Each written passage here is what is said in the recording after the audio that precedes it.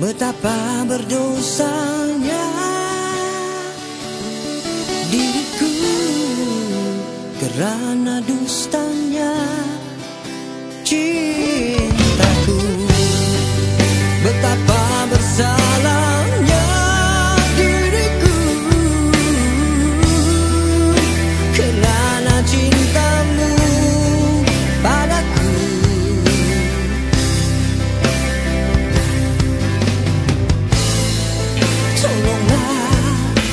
Maafkan aku.